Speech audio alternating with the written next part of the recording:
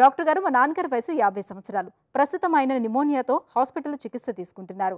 ఈ ట్రీట్మెంట్ అయిన ఎంతకాలానికి corona vaccine వేయించాలి? దీనివలన ఇంకా వేరే ఇతర సైడ్ ఎఫెక్ట్స్ ఏమైనా వచ్చే అవకాశాలు ఉన్నాయా? తెలియజేయండి అని అడుగుతున్నారు.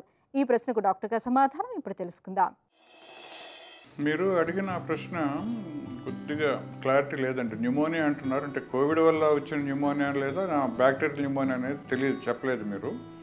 సో బ్యాక్టీరియల్ న్యూమోనియా అయితే ఏంటంటే సాధారణంగా మనం అనుకున్న రకంగానే మనం ఇచ్చిన మెడిసిన్స్ అన్ని కరెక్ట్గా ఆ న్యూమోనియాని తగ్గించేదాని ప్రయత్నం కానీ చేస్తే మినిమం ఏడు నుంచి పద్నాలుగు రోజులు టైం పడుతుంది. అలా కాకుండా కోవిడ్ న్యూమోనియా అంటే మనకు తెలిసింది అది ఎన్ని రోజులు పడుతుంది?